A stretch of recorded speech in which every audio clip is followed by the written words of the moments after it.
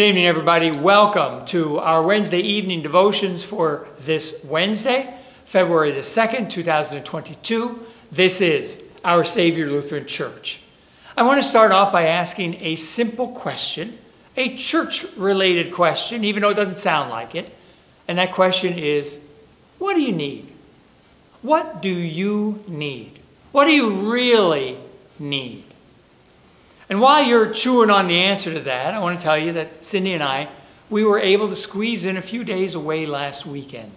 We both really needed time away. We needed time alone. We needed time together.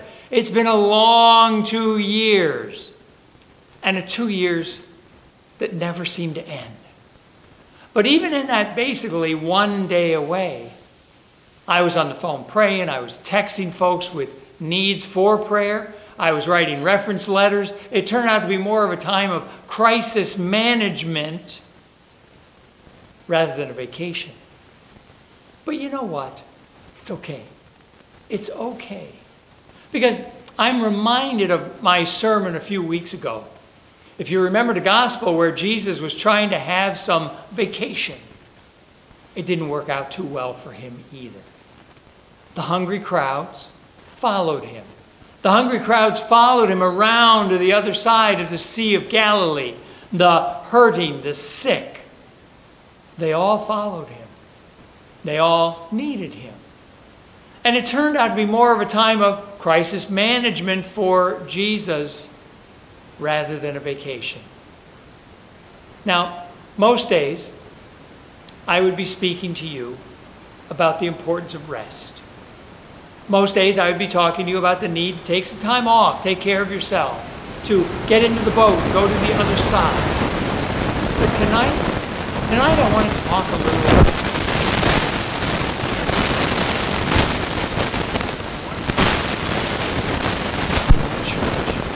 talk but maybe more importantly, your work. Now, I realize that most of you have tuned out by now, but those of you who are still hanging on, for the rest of you, while Jesus invites his disciples to rest, you'll notice that they don't get that chance. They don't get that opportunity. Instead, Jesus and his disciples respond to the needs of the throngs that were coming to them. As they saw the crowds and their many, many needs, their many, many unmet needs, Jesus has compassion on them. He puts his plans for rest temporarily on hold and goes out to them, healing, curing, feeding, and teaching all, all who are in need. And this is what I find interesting that this passage, while it starts off sounding a note for the significant need for rest from our labors, it shifts gears to move instead to talk about compassion and need. And these two, compassion and need, always go together. Which is why I'd like to ask you this question What do you need? What do you need to feel whole, to feel complete?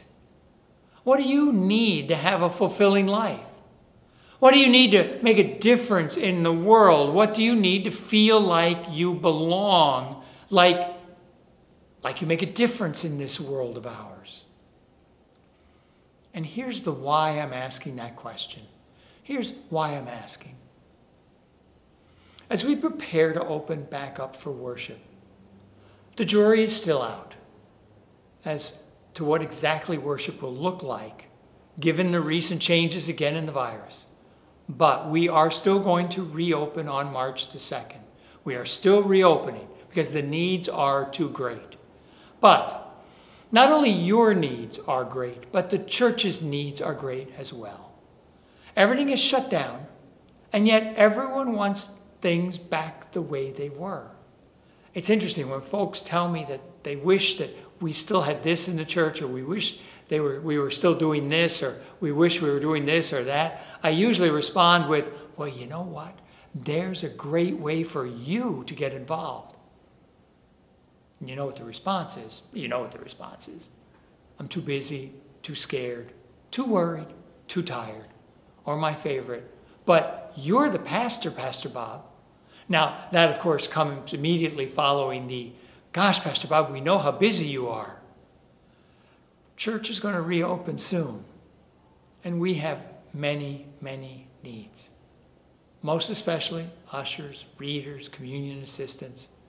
So I'm asking that you not think someone else is going to do it, but that your time of rest is over. And your call to ministry is right now. For the way to a fulfilled life and a fulfilling life is through a life of service. You see, those two go together. So I hope that your need is not to come to church out of a sense of duty. But I hope that through your service, you come back to church with a sense of delight, a sense of joy, a sense of needing to be worshiping God, of serving God, because it completes you, because it is what you need. I hope you will come back open to the reality that things are going to be different, but much more the same than you might have thought. But also the reality that we need you. We need you. God needs you. And you know what? You need you. I hope that you will come out of a sense of delight, desire, and anticipation. But that's only going to happen if we're clear and honest about what we as individuals and we as a community need in order to flourish. In order to flourish and to be the people of God that God has called us to be. And so, my simple question to you eh, maybe it's not so simple a question is this. My question is not, what do you want? But my question is, and God's question is, what do you need? The church's needs are great. The community's needs are great. Your needs are great too. But what does it take to fully fulfill those needs and to live that life? In John's Gospel, he often describes it as abundant life. No matter what you name it, we all need it. We all sense that something more is out there for us. And that is what Jesus offers. So, what do you really, really need? Amen.